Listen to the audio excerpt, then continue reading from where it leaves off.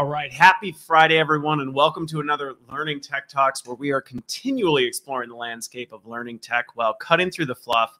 Today, I am rejoined by Mikaël Wornoo, and uh, we were just talking about the cool two dots he has in his name. So I'm, I'm trying to make sure I, I pronounced it right, which he confirmed that I did. So he's back. He is back on the show, and we're going to be talking about a lot of things related to skills and digging into skill taxonomies, skill inference, real practical use cases on how are people using skills. And it was a year ago. We talked about this right before we went live. It's been a year since you've been here, and a lot has happened since then. Is that fair to say? A lot has happened. So uh, I'm. I hope I can share all everything that happened. But good to be back, Chris. Uh, everything. We're gonna get through everything. A year's worth of updates. literally everything. We're gonna be here till four in the morning. Yes, uh, exactly. something it's like 5 p.m. Uh, now in uh, in Europe and Belgium, where I'm from. So people listening back home are probably like using this to get ready for the weekend. I can imagine. That's right. Well, what better way to get ready for the weekend than to define skill taxonomies and prepare, prepare for what you can do with skill exactly. data? I like it. I like it. No, we're going to have a good conversation. And, you know, it's funny that a lot's happened in that year. We were even just talking about the fact that a year ago, we probably were talking about, won't it be nice that in a year we'll be done with COVID?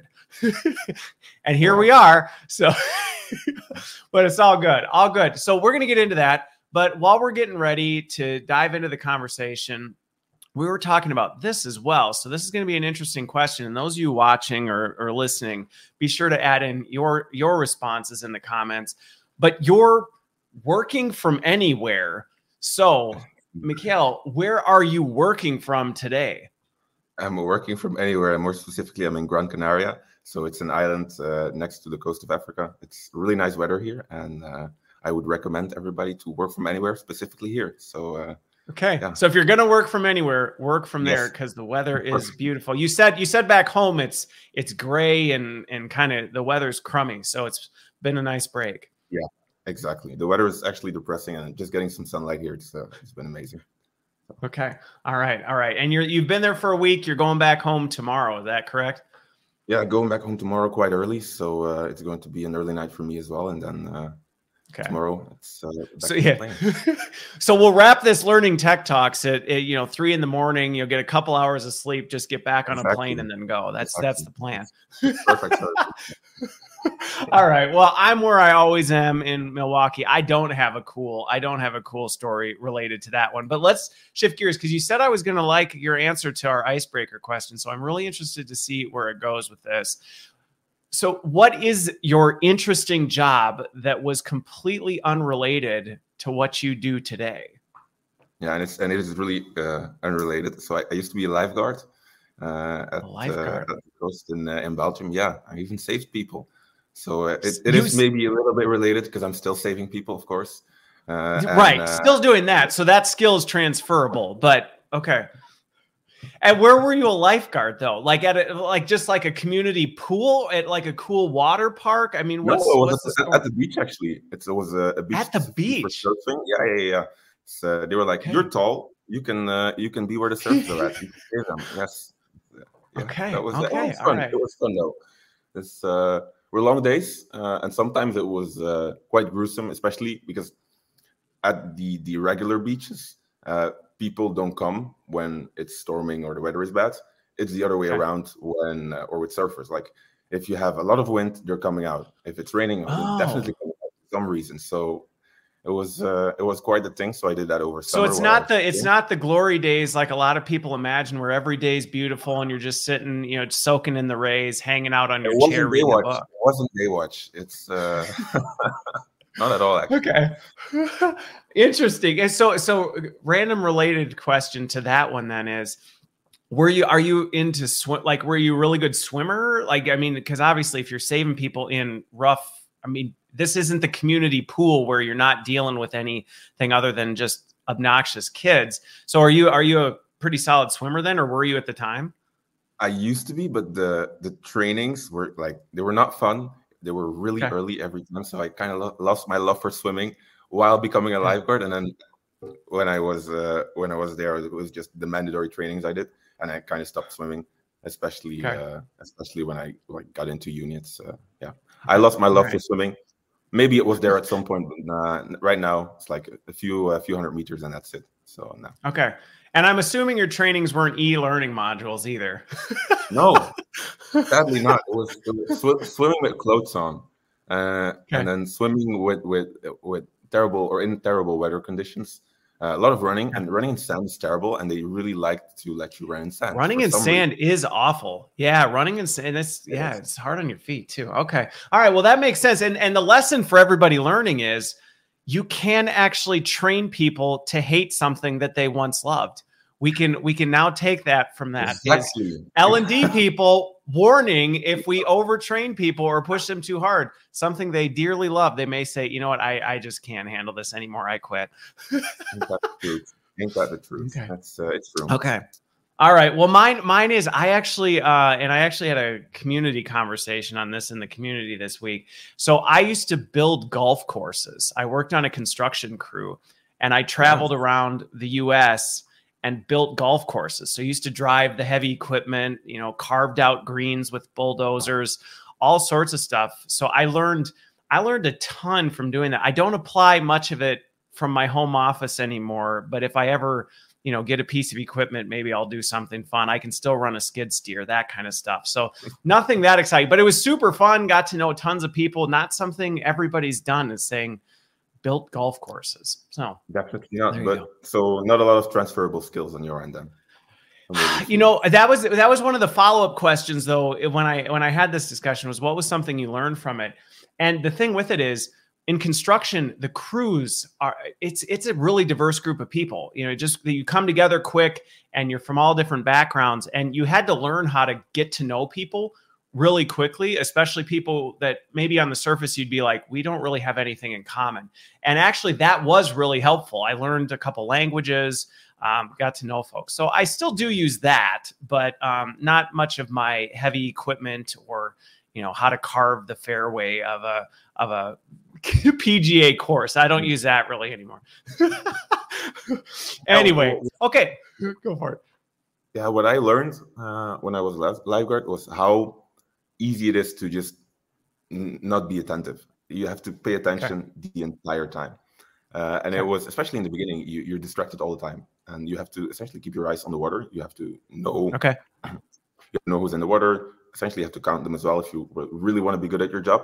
So when you know, like, okay, people are coming in and out, or the the number suddenly dropped by two, that should like uh, ring a bell and say, hmm, maybe uh, maybe maybe I should go and uh, go and take a look. But in the beginning, it was so hard to, to be attentive all the time. So uh, it was uh, it was some good training, and also uh, just on the meta level, you you learned a lot about your own perception and, and how easily or how easy it was to be distracted. So yeah. Okay. Well, and you know what's funny about that, and I know we will we'll shift gears because otherwise we'll be here till four in the morning. But um, it, it is the fact I've I've had a few friends who are lifeguards, and there is this impression that you're just sitting, you know, kind of reading a book or or looking at your, but actually it's not. You have to be watching everything that's going on because the other thing you tell me if this is true or not. But I remember one friend said people who are drowning it's not like in the movies where there's this big splashing and their arms are flying around and you're like, oh, that person's drowning. I mean, it, they're like, it's actually this quiet. All of a sudden, you notice somebody just isn't moving or whatever, and you have to be really attentive to it.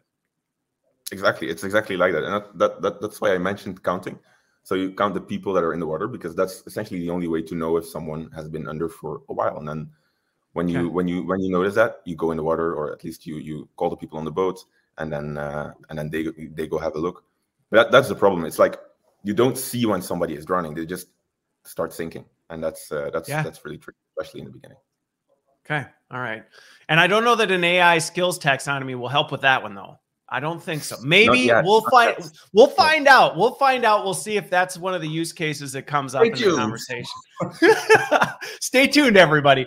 Um, okay, but let's do one a quick overview for folks because we did go live a year ago and you were much earlier stage than you are now and have made some huge progress in, since then. But for folks who may be thinking TechWolf, we're talking skills. What what is it? What is kind of your elevator pitch of what is it that TechWolf does? Yeah, great. So first, I'll let me introduce myself for people who don't know me. I'm Mikaël. That's I have true. a background in computer science uh, and AI. The three founders of TechWolf did or do. Uh, we started the company with the three of us, and we grow from three to 25 people over the last three years. So quite some uh, quite some tremendous growth. Signed some big names uh, over the over the last few years.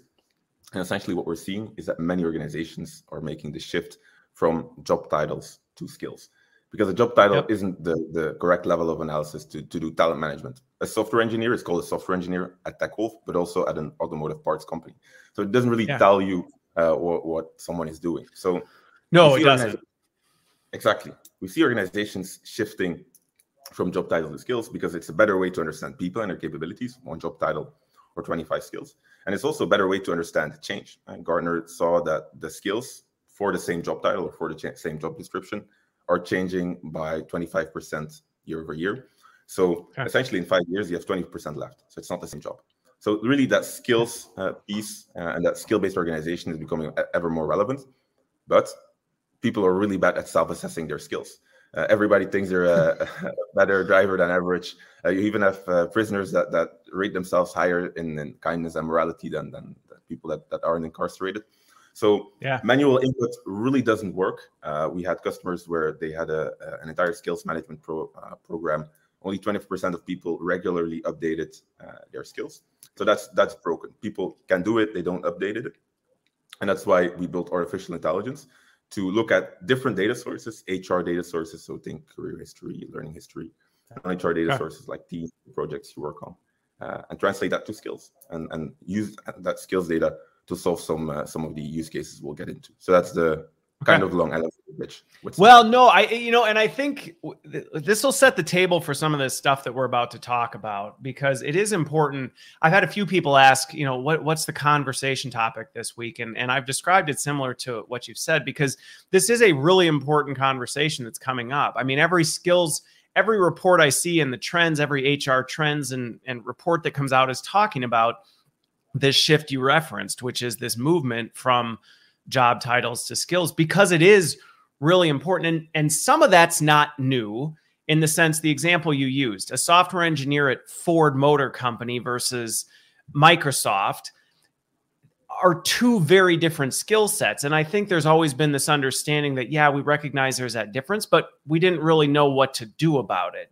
And so we'd write different job descriptions and things like that. But it made it very hard even for the candidate to know that piece. And then the self assessment's another complexity, which we'll dig into more there. But I think what you're talking about, I commented on a post this week about it, is being able to actually get that information is not easy for folks. And I and I continue to see in conversations that I have that that's probably one of people's biggest things. They're trying to pull it maybe from Workday. I had one company I was talking to that they set up a skills portal like you talked about. Everybody go fill out your self-assessment. It did not work very well because mm-hmm. one, you couldn't get people to do it. Two, it just didn't stay current. And three, that that cognitive dissonance of you know what I'm really great at? This. And it's like, I don't think you're actually very great at that, but you clearly think. I mean, there's a lot of challenges with that. And you're you're pulling that together from a multitude of data sources. Exactly. And it's not just the HR sources. It gives you some context. Yeah. Uh, but essentially the systems where you apply and demonstrate skills are not HR systems. For sales, it might be Zoom and Salesforce for marketing.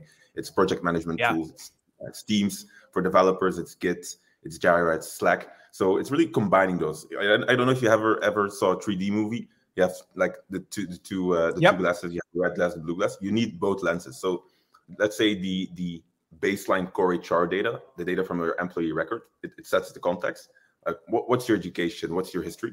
And at what you work on, like um, instantiates that that context, gives you additional, more granular information. And you need the two pieces of the puzzle to actually understand what people are capable of and then that that's when you really unlock the value of a, of a skill-based organization. Okay. Well and and the point about i think that's a huge takeaway for folks who may be you know digging into this space because i would say on the not maturity in terms of immature mature but more on the maturity curve of where you are in the process i think a lot of folks are still early stage in this. They recognize it's a gap. They recognize there's something they need to do about it and they're figuring out so what do we do about it? But that understanding that if you're trying to tackle this skills problem and all you're looking at is the data you have in HR, that is a miss. I mean, that is a big miss in terms of actually capturing that whole picture of the person because the reality is our systems only that is one lens and one lens is not a complete lens when you're looking at something as complex as a person's skills exactly exactly it's just that and that's also what we see uh, it's by combining the two that you get the you get the full picture uh, and then when you talk to people in the business i've had so many people just tell me like i never update workday almost like what they're almost proud of it like i never open that thing or i never open the code it's, it's true and then no, it is. It is. And then you think about the fact that the the half-life of skills is going like this and then people go, oh, "I haven't been in Workday and updated that for 2 years." When most skills are basically obsolete in a few years. Well, then essentially what you're saying is anything we do have is probably either completely obsolete or it's at least grossly grossly out of date. Exactly. And people like they're bad at self-assessment, but they also like yeah. there isn't really an incentive to keep this up to date. Uh, no. And many organizations come to us and say, like, look, we tried skill management, and the problem is we now have multiple platforms requiring our employees to complete skills data. On one hand, on the other hand, they're saying we want a consumer-grade employee experience. Like those two do not match. Uh, and asking somebody to input all this information and self-assess five times in five different systems that don't talk to each other is not a that's not a consumer grade experience at all. Exactly. Exactly. Okay. And then when you think about it, like having that information unlocks so much value. Like our CEO always yeah. says, like 80% of market cap is intangible value right now, and a large chunk of that that intangible value is human capital. So right now that's accounted for as an expense, partly because it's really hard to have a comprehensive in inventory of human capital, like to actually quantify human capital. And for us, that's what a skill inventory is. And that's also like the, the power uh, skills unleash. And that's also what we see once their customers start looking at it like that. Like they, they start talking about using skills for performance management and using skills to objectify performance management, using skills to, and this is an interesting one for you, using skills to measure the ROI uh, of learning, uh, using skills yep. to solve internal mobility, but not in a traditional sense. Because say if you implement the talent marketplace, it really takes you 18 months until that is set up and you actually yeah. drive internal mobility. But what if you have a problem right now? And yeah. as soon as you have inventory, all these problems can be solved by by by skills at least partly. Yeah. Yeah. Well, and, and as we get into some of these cases where, you know, people may be saying, hey, we want to do something with this, but we're not exactly sure what, we will unpack some of these. But one of the things I want to get to first is your definition on this one, because this is a term that's being thrown around a lot right now, which is skill taxonomy and you see it in the vendor space. There's a lot of platforms that are saying we we have our own skill taxonomy type of a thing. You hear people trying to map out their skill taxonomy which is what's happening with this. Well we're trying to gather this skill data so we can build our own skill taxonomy. And i will tell you in conversations i have people's understanding or their definition of what i what they mean when they're throwing this word around is not consistent. So being a specialist in this space and a tech company that specializes in how do you define a skill taxonomy? Exactly. And it's really not complicated but for some reason people have made it really we've really made it really complicated. so for me uh, for the company and for a lot of people a skill taxonomy is just a language to talk about skills. Essentially it's like a dictionary of skills. And then a skill ontology uh, let's say adds relationships to it. How does sales relate to marketing? How does marketing uh, relate to uh, to advertising. So there's a few relationships that exist, hierarchies. Microsoft Azure is a, is a subset of, of cloud computing skills uh, or adjacencies related to related programming languages.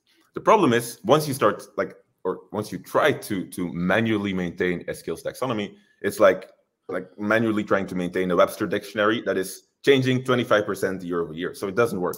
And that's what we do. Yeah. Is like okay, you don't need a skill taxonomy to get started because we create one for you from the data you have. We map skills for people, and then we create and cluster your taxonomy. Uh, and then, like okay. manually trying to maintain it, I said it before. Like it's changing so rapidly that it, there's just no point. It, it, takes a lot of manual work, and it essentially it decreases the leverage and the buy-in you have for a skills-based organization because okay. all people see is overhead, overhead, overhead. Yeah. Yeah. Well, and I think that the the simplicity of it actually makes it easier for folks. And I think to some degree it's been made more complex to kind of create some confusion so it sounds sounds really cool like oh you have a taxonomy that sounds fancy type of a thing but really i mean to me the way i look at it is these skills are the things that people do and the ontology you're talking about it's like well how do we organize those because exactly.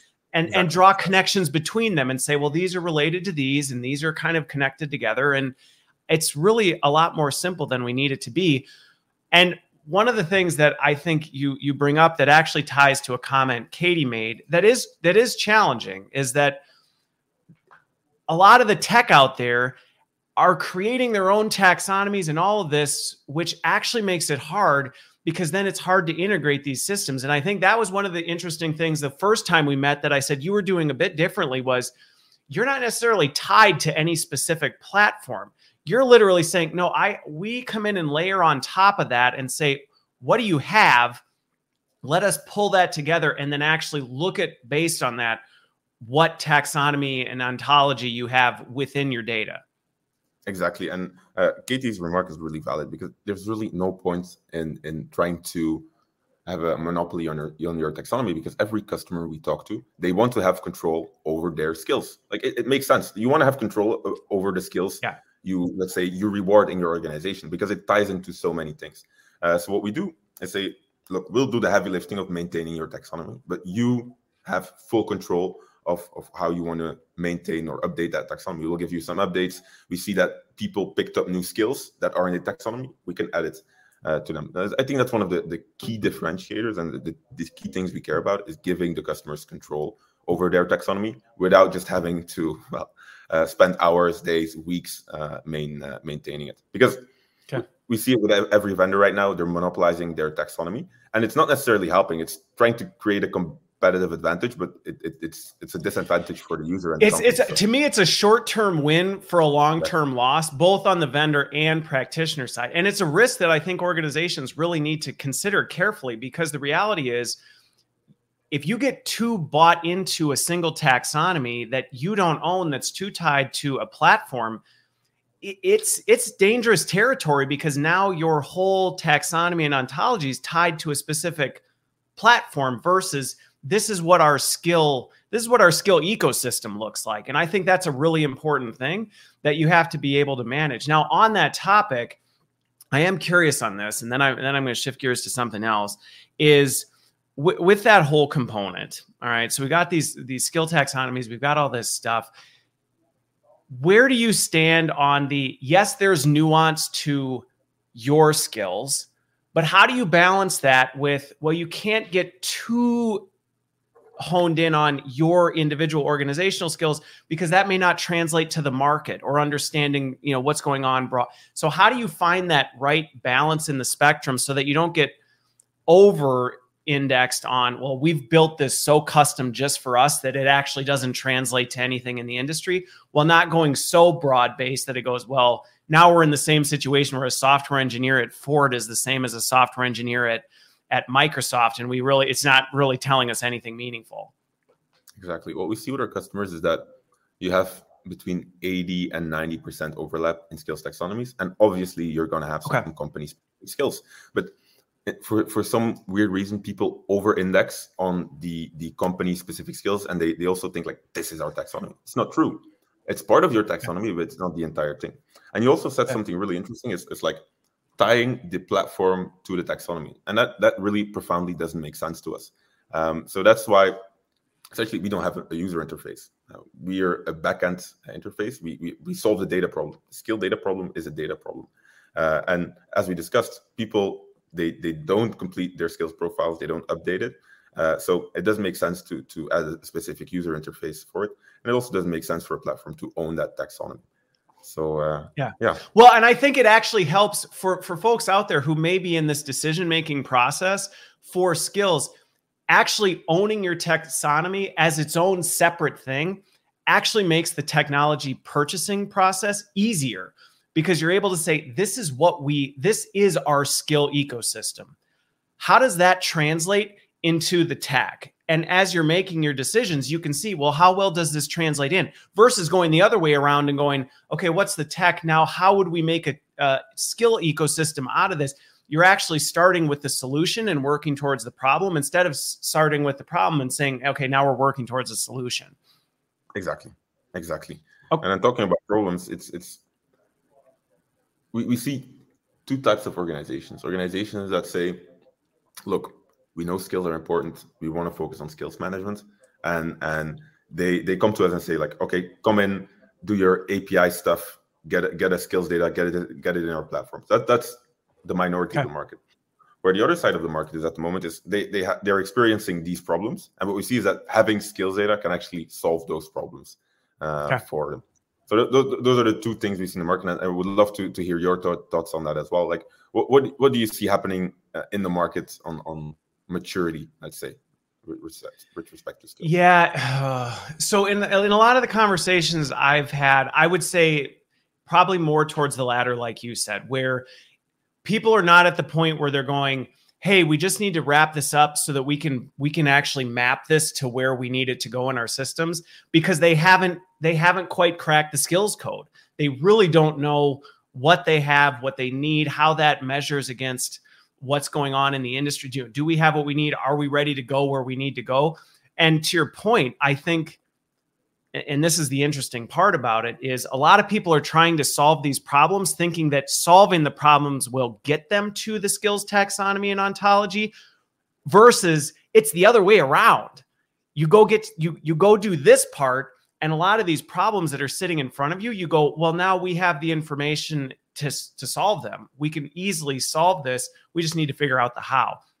But I would say that's almost going back to folks who may be listening, that's almost a reversal of mindsets. I think a lot of people are trying to get their systems, their tech, their processes in order first so they can get their skills taxonomies in order. And and to me it's like no, actually reverse your order but I think the challenge is there's not a lot of places you can go do that, which is why when even when we first started talking, I said you're you're in a unique position because not a lot of people are doing what you're doing, which is saying we can help you do that so you can solve your tech problems, your people problems, your organizational problems. There's not a lot of players that are actually helping folks do that. Exactly, and that's also what we, what we've seen like especially in this year, you start noticing similarities uh, with your customers. So yeah. what we do when we come in, we have like this onboarding package where we do a data maturity scan, look at which data sources are actually good predictors of skills data, and we help them set up their skill taxonomy. And, and those are the two things you need to start yeah. being a skills organization. And then typically in six to eight weeks, we can give organizations, no matter the size, from the point we have the data, to an overview of individual skills. And, and people, they don't believe it, but no, because a lot of people are like, "Oh, to do this is going to be a year-long project, and we're going to have to, you know, no. do all this stuff." And it's like, actually, no, it's not. Exactly, exactly. And then you get to the use case because, like, get, give it, getting the the initial overview, the skills inventory, as we call it, that's point one. And then solving an actual problem with that, like the the thing on performance management I mentioned, or let's say internal mobility. Uh, we had one customer that had to well uh, fire 3,000 people in their do nothing scenario with our skills yeah. data, they could redeploy 200 people. That's 200 severance fees and 200 hiring fees that you save. That's a multi-million business case. And that's how yeah. people really start to realize, oh, wow, that's what we can do when we truly understand what our people are capable of. Well, and that gets to this. And, and I think some of this is, you know, there's an opportunity. I was reading the most recent Udemy report on, on skills in terms of what they're seeing in terms of market trends. And one of the interesting things that I continue to see growing that I do think our industry might be lagging a bit behind. It's just behind is a lot of other functions are focused on data acumen, just understanding data and what can be done with data. And I think we're lagging a little bit in this, which is why we're struggling to see what you can do with this skills data and why getting this figured out and not the other way around. You know, again, the analogy that popped into my head is sometimes I feel like we're like, I'll go get flour and eggs after I bake a cake. And you go exactly. You don't you don't bake a cake until you have flour and eggs. Like, what do you? You're doing this wrong. And I think that's the part that this skills acumen, the the data acumen of understanding how you can do this, how these sources work, how you can pull this together, and then how that is the critical ingredients to the recipes that you're trying to solve for. Mm-hmm. But also, and that's like uh, after some reflection uh, uh, in the in the past months, like we came in with a very engineering AI mindset.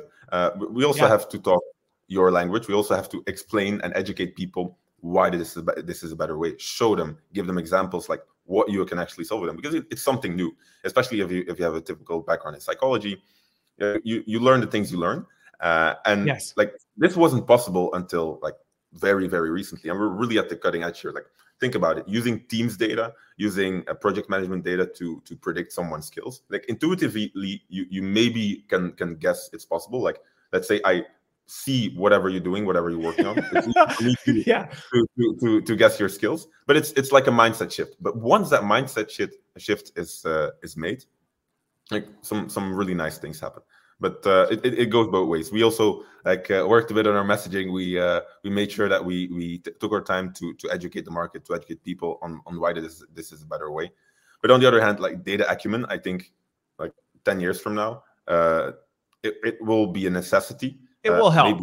Even uh, it, I I think it will, but I I think to the to that point of the messaging and i will say that's that's a journey i've been on in my career because my background's been very technical. And so going into l&d there were a lot of things where i'd look at and go i mean isn't this really obvious? Like don't isn't this really apparent to everyone? And it wasn't. And that storytelling of okay how do we translate this into hr language how do we translate this into business cases for operations leaders because many of them don't have that kind of data acumen because it didn't they didn't need it before and so when they're told, hey, if we do, if we build a skills taxonomy and ontology by pulling data from teams and other desperate technology sources, we can actually solve your business problems. Eyes go blank, flies over their head, and they're like, that I don't. I think we're good. Can't we send out a survey and just ask people what they're good at? And, and you're like, I, okay, hang on, let's let's. but I think that's it's it's a fair amount um, to consider, but it is much easier than than people think. And I think Katie Katie chimed in again. You know, it's not as crazy to do, but there is still a degree of work that goes into it. And I think even with some of the things you're saying, Katie, I, I think it's easier than we realize. Yes, there's work to be done, but I think what we're talking about here is the fact that a lot of this can be automated and a lot of this can be done because a lot of that manual work and unwinding some of this stuff really can be done with tech. Is that fair? I mean, that's that's really where you specialize is how do we actually use tech to accelerate and automate some of these things that are a lot of work, but they don't have to be a lot of work for us. Mm-hmm. Exactly. It's, it's exactly what we do. And uh, to, to Katie's point, it's again, people almost immediately associate manual work and a lot of manual work uh, with this. But then we come in and show, and show them like this is the amount of manual work you can actually save. You don't have to manually maintain your taxonomy. And of course, there's going to be some manual work. It's not going to be like this, and and you have yeah. It's not like that. But it's just a lot easier. And I think that's with, with many great technologies, they just make your life easier, uh, and that's what we what we aim to do. Okay. Well, and I think, and I think the point with that is, and to me, this is where my success, I found success in this is the work that I end up investing in when you make the right decisions on this is in the storytelling, is in the building influence, is in helping people understand what you're going to be able to do. It's that people side. And, and that's exactly what Katie chimed in on is the fact that, yes, that people side is where the effort goes, helping people understand the value of this, helping understand what we're going to do with this.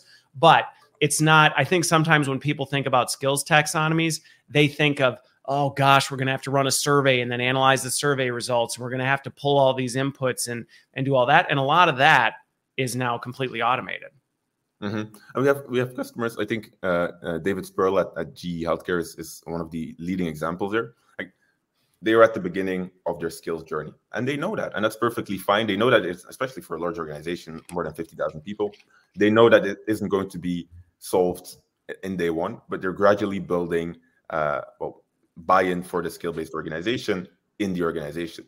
We have the same with yeah. a global energy company. We started with skill-based workforce planning. Essentially, they're making a big transition from uh, well, typically oil and energy to renewables.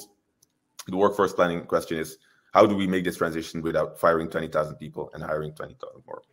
And after showing the first, first results, we had a call with six VPs, uh, all super interested in the skills piece because we could actually show, like, look, this is what we did.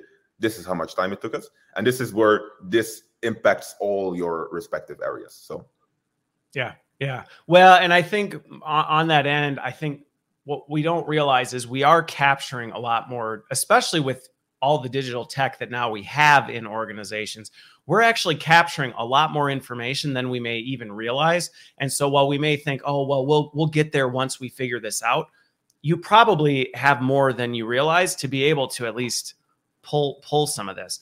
So that transitions me to this piece, which is okay, it's one thing, and I think this is this is another mindset shift, or or not even necessarily shift, but maturity shift that we can make is right now i just see as an industry we we tend to put a lot of emphasis on getting the skill data right or the skill taxonomy right.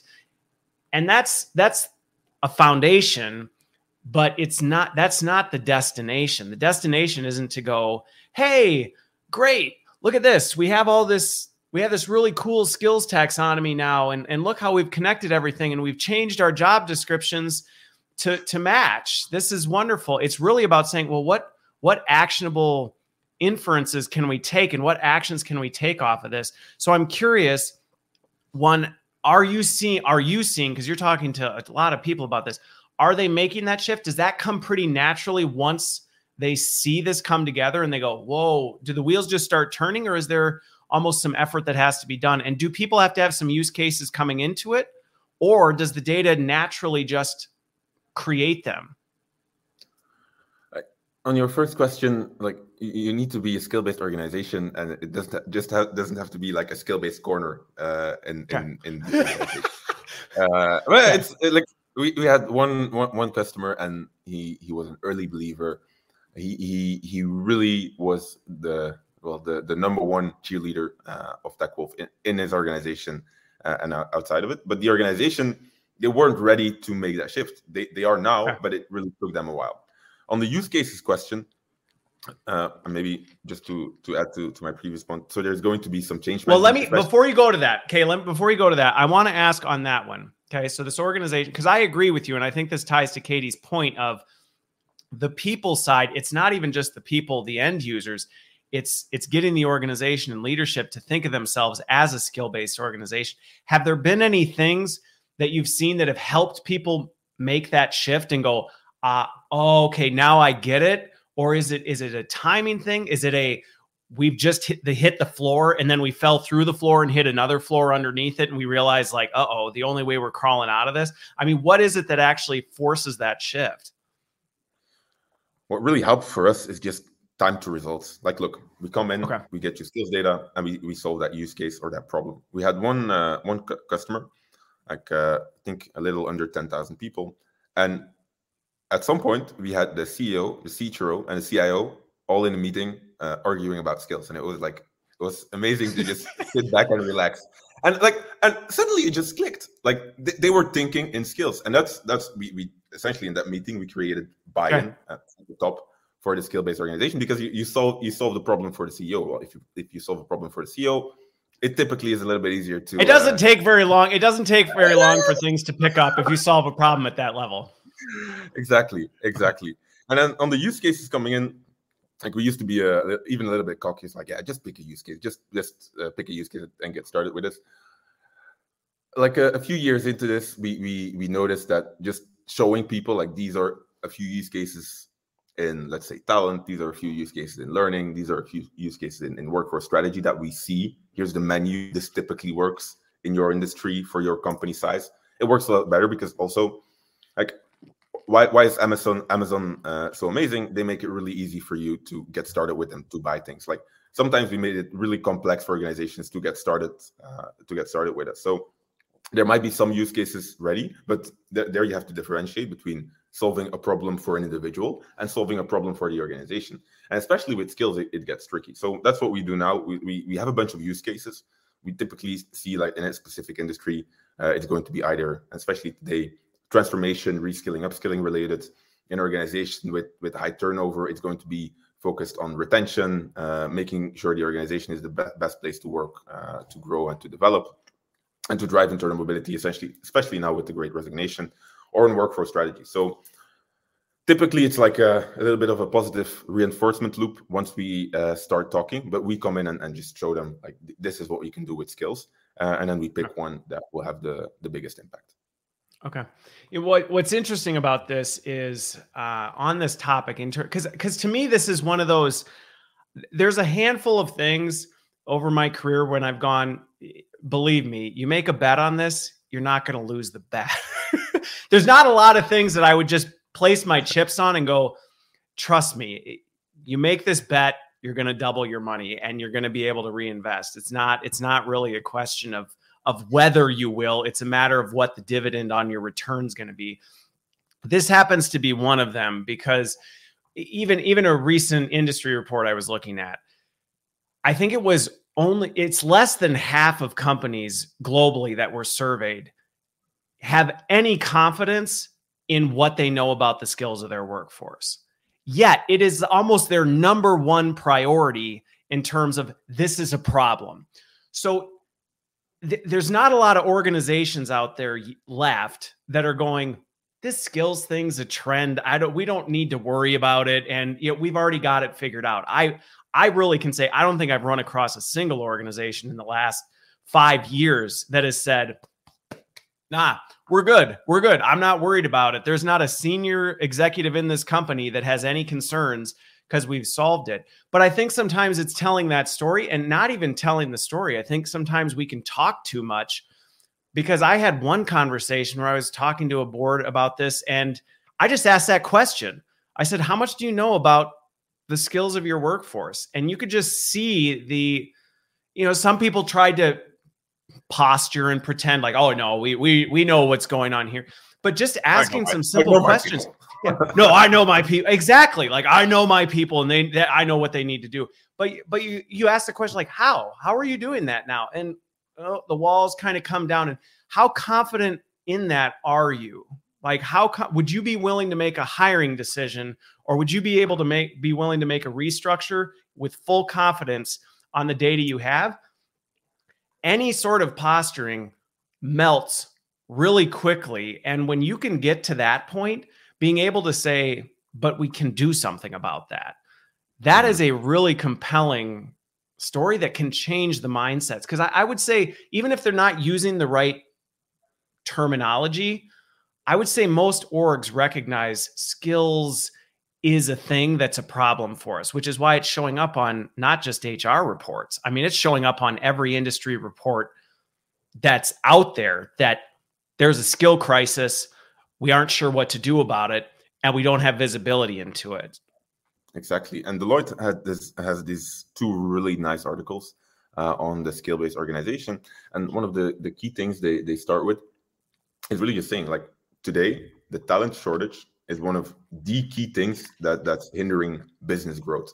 So anything you can do to make sure that your people stay and that's ma- making sure that they are engaged, making sure that they can grow, that they can develop themselves. Like that the business case is there. Uh, people that are engaged in the work, people that can work on their strengths, they're twice as productive. So they are a lot more likely uh, to stay. Same with growing people and developing people. So just from an individual perspective, knowing the skills of your people. As a manager, it helps you to assign them to projects uh, that, that fit their strengths, that fit, fit their talents. As an organization, you're, you're sure that they, they'll stay, or you have like at least some confidence or some more confidence that they'll stay with the organization and they don't leave uh, without the without the built up knowledge. So yeah, I can. Uh, I think we're, we're both convinced, right? So uh... yeah, yeah, you don't. I don't think you have to convince either of us. Like I said, if I had to bet, if I had to bet the house, I would bet the house on this, just because this is crushing organizations right now. I, had another report I just saw this week talking about, you know, how difficult this is, especially in front lines right now. You want to talk about, you know, 80% of the workforce is frontline work for work workers. And there's really one of the big myths that I think has been revealed is I think there was just this underlying assumption that that kind of got destroyed, which was ah, you know, we can fill that. Not that's not really ever an issue for us. And all of a sudden, now it's an issue, and a huge part of the workforce. It's competitive. It's hard to find people. It's hard to figure out well, who are the right people that will stick and stay and succeed because the turnover is is just crushing them and they're having a hard time with it. So my that that kind of turns me to this point is when when you work with folks on this, how does this you, you explain the process a little bit, but then how does this translate from okay, maybe we've got some high level visibility into what's going on. How are organizations taking that high level boardroom visibility and actually then running that down the chain to say, okay, and here's now how we're going to mobilize our talent, or here's how we're going to change our talent acquisition or talent retention strategy into more tangible terms because I think that's one of the things that some folks might be missing the connection still is okay, I get like at a high level we might get this, but then what does that how does that actually help on the day-to-day basis and how are you seeing that translate? Yeah, so you, you're right. And you have the business level, then you have the the manager slash HR uh, or HRBP level, and then you have the employee level. And it really happens on, on three levels. So the business level, it's that, that the high level insights. You can highlight some problems. You, you, can get that transparency. On a manager or an HR level, we we typically come in with just uh, dashboards, interfaces that that show them like, look, um, let's say you want to hire a few a few uh, a few dozen data scientists. Okay, yeah. where where could they potentially be in your organization?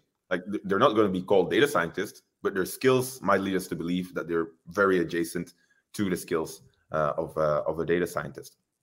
Um, another example uh, is the one on performance management uh, I just uh, I just mentioned. So, oh yeah, the, the organization like uh, it's actually funny, and you, you, you already alluded to it, uh, but it really stemmed from the CHRO having a discussion with her minus one. Essentially, it was it went something along along these lines, like Chris, I only think your uh, instructional design level skills uh, skills level is three, and, and and you say to me, no, I think it's four, uh, and then. What what do you do? right. What we're just arg- we're arguing hypotheticals here. Well, I think exactly. it's four. You think it's three. How do we have this? And everybody should be able to relate to this right now because if you're like any organization on the planet, you're probably going through performance and talent calibrations at this time of year. So these conversations are probably relatively fresh. Exactly. You can, you can still feel it. You can still remember the discussion. And what they they kind of they kind of turned it around because they had a, a skills management uh, process they spent a lot of time and effort in it. They had, I think, they had 19 skills uh, on average. And what we found was, when looking at the data, so we predicted skills for them apart from the 19 skills they had, and we looked at evidence for skills uh, that we could find in their data sources, and we only found strong evidence for six skills. Uh, we had no evidence for three skills, but that that shifts the entire conversation uh, because you can just okay. talk about the data. Uh, you can see, and that's where team da- teams data comes in. Like, look, I see that you think that you're a even five on instructional design, but you're not using these skills. Like I'm pretty sure you're not a five. Uh, and people are also not coming to you um, with their questions on the instructional design. Instead, they're coming to uh, th- this person, and that person o- only rated themselves a four.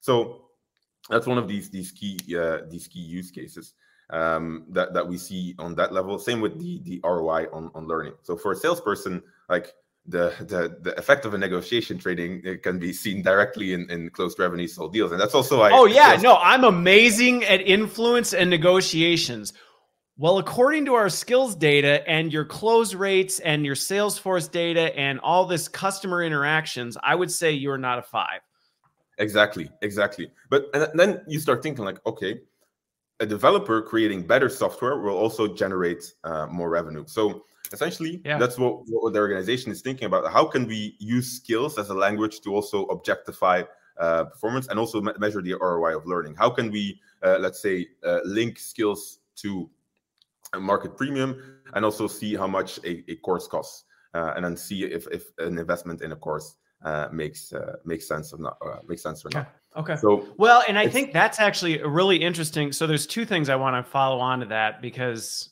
it, I, I am telling we probably could talk about this till four in the morning, but um, you know, even even I, I guess for learning leaders who might be listening to this, the ability to justify investments in development for people can be taken from this because in your example, if we know objectively, not subjectively based on who knows what, that the organization is actually here and we need to get them here, and if we invest X number of dollars and that's and that gets this and that's going to net this kind of return that makes the business justification for hey these investment dollars in development are actually going to save us money not cost us money. And i know it looks like a dollar line on the balance sheet but in the long term and now you can have that be a business finance discussion with your cfo and instead of it being like yeah here's the learning people coming telling us they want more dollars for training and they can't really justify the why, we actually can quantifiably justify the investment. Exactly. One of our customers is looking at evolution of skills. So we actually timestamp your skill profiles. I'll, I will not get into the details, but essentially it enables us to, to essentially graph the evolution of skills over time. Well, mm. that makes it a lot easier to uh, yeah, measure the ROI of learning. Because you can see like okay at this point in time we had the training. Like are these skills actually being picked up in the organization? Right. Do we actually did we improve on the things that we said exactly. we were planning on improving on? Exactly. yeah. Well and the, the other one too that just made me kind of chuckle when i think of this performance management okay? Because I mean, again, some of the comments are kind of funny on this, but um, you know, I mean, it's a frustrating time of year again, the subjectivity of arguing over performance calibrations. Well, I think this person's a three and I think they're a four, and and this person over here thinks they're a, a one. And you're trying to figure out how do we actually calibrate. But that actually ties to dollars and cents. And I think sometimes we forget that is that that is a financial that has major financial implications on on an organization. I think sometimes people don't always think about it at the 100,000 foot level at the board level but you know, because we may say, well, two percent raise, that's not very much. Well, the difference between two and three and a half percent of calibration ratings across the organization that can be tens of millions of dollars a year in in cost that you're putting into an organization where you may be you may be saying we're investing all this money in people that may not actually be where they need to be and I mean, it's it's actually there's a financial return on getting performance management right. It's not just a like, well, it's something we got to do, and yeah, the arguments are awkward. Mm-hmm, exactly, and if you that's that's also a reflection we made. Like, how how do we li- link skills to business value? And their performance management and an ROI of learning, ROI of HR initiatives, like those are the top two because performance is business performance in a, in a way. So that's also one yeah. of our key use cases we we see. Like helping you objectify the performance management cycle. That that is a use case. We actually had another customer that, where this came from the CEO. So uh, CEO said, like, look, to the CTO, I want you to fix performance management first. Uh, and there we could like we, we went in and showed like, look, this is what the customer is doing uh, when thinking about objectifying performance management. And essentially, she was ecstatic because that was what she was looking for. The, the she was thinking about, okay, uh, do we start assessing people? Do we start surveying people? And she really felt a lot of internal friction with all these initiatives because she deep down she knew like this we tried this. We, we the skill management promise like it's great but it hasn't really been fulfilled. So there was a lot of internal friction.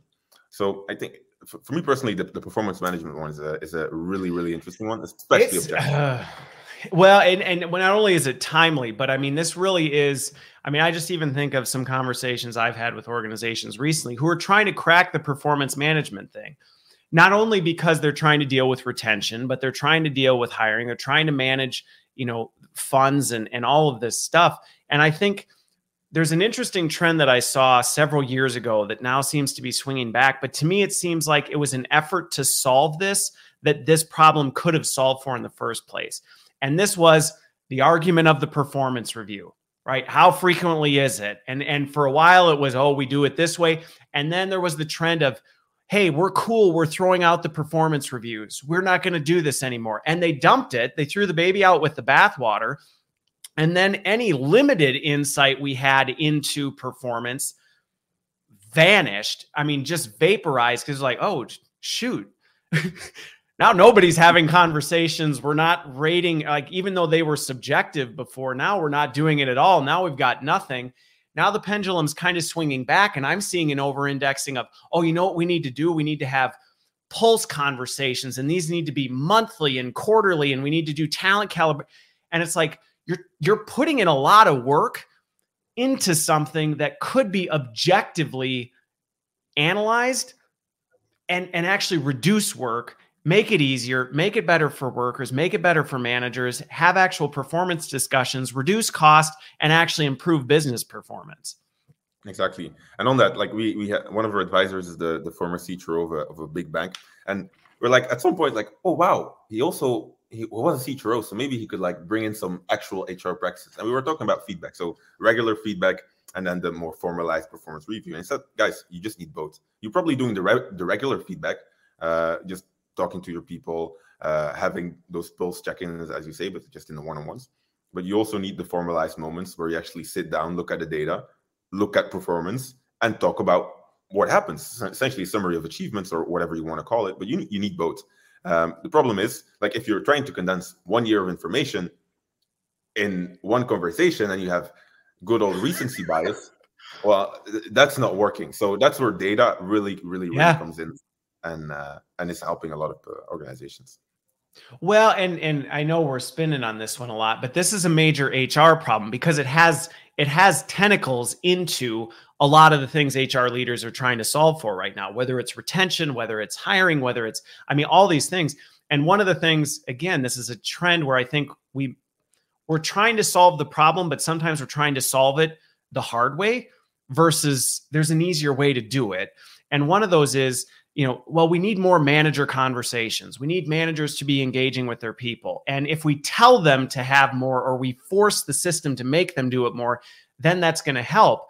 And one of the things that's been interesting about it is when I talk to frontline managers, when I talk to managers, one of the reasons these things don't really happen very much is there's not a lot of confidence with a manager to know how to have that discussion or how to make it objective they don't really know what to talk with their person about in terms of performance or skills gaps or things they can be working on because even they feel like well i mean i think this but like they say it's not and i don't really have anything to go off of and they're, they're telling me people love them and i don't want to be the one to go uh, yeah i know but i don't think you're quite where we need you. And so it's contributing to why they're not having the conversations. And so we think, well, if we just have them, it'll happen. And it's like, no, we need to equip them with the information and not naturally it will just happen. There's still work to be done, but equipping them with the right information makes it that much easier for them to say, well, now I feel comfortable having a discussion because I have information to share that isn't my personal opinion based on my interaction with you. Exactly. And like skills on the employee and manager level, it, it just equals transparency. Um, it helps the manager have yeah. a conversation. You, you, manage people. Like imagine knowing, like from all your direct reports, what they could do, and then also where they wanted to grow towards. Then, then you can have a database yep. conversation. Like you're here, you need to be there. Let's sit down together and figure this out. I, I used to be in your shoes. Like, what what are the steps you can take? So, like, in my in my opinion, skills data is really going to revolutionize HR as a practice, but also on the manager level, it's going to make it a lot easier. And on the business, it's also going to have a tremendous impact. So uh, you're right. We could probably sit down and talk about this for, uh, for six more hours, but uh, yeah. But but but again, and I think this is a, a natural place to to kind of wrap because this has really what I liked about where we landed was I, I think we really unpacked a very practical, tangible use case for people in our industry who may be like, okay, I, I kind of get it, but like, how would this really translate? Because this does, we just described those three tiers. We showed how it, yes, it affects the board level conversation. Yes, it affects at the corporate COE kind of HR level, but it also ties back to that frontline manager. How does it change the way they have conversations with their people? It just makes it easier. Instead of saying, well, I gave you a three this year and that ties to this merit and they go well i, I don't agree with that. And you're going uh, okay. You can say but here's here's why and here's the data and here's what we're going to do about it because i don't want you to be there and clearly you don't want to be there. So now we can create a development plan and now exactly. we have grounds to justify learning and development dollars to build something for it. Exactly. So Okay. I, uh, I look forward to uh, to continue our, our, our next year. Uh, I know. Well, we'll see you again. We'll see you again next year. And well, again, this has been uh, hopefully for those of you who have watched, and it's. It, I love the comments that have come in, but hopefully this is helped shift some of those mindsets. And folks who listen to this after or down the road, you know, if you're in this place, you're not alone. I will tell you that right now. You are not alone in this space at all, and, and I think you would validate that as well. That this isn't like 90% of organizations have arrived and it's it's the few that are left. Is that fair? Yeah, it's 100% fair. And uh, okay. well, only thing that's uh, left for me to say, if, if any organization or any individual is really um, working on this topic, shoot me a message on LinkedIn or, or shoot me an email. It's uh, Mikael at techwolf.ai, and we can have that conversation and uh, make you a skill based organization. All right. All right. Well, thank you for the time. Enjoy the rest of your time in the beautiful weather there. I, I won't keep you till four in the morning. I know I can see it. It looks pool. gorgeous. So go out to the pool, have a have a adult beverage on Friday night for me, and uh, we will talk to you again. Thanks for being here. Bye bye, Chris.